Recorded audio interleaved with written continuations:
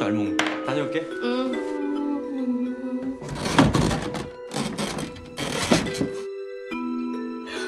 우리 집에 누군가 있는 것 같아.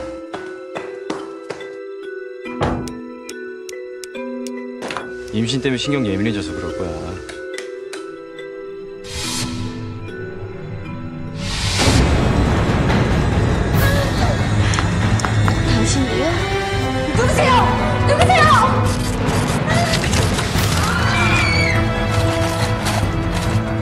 如何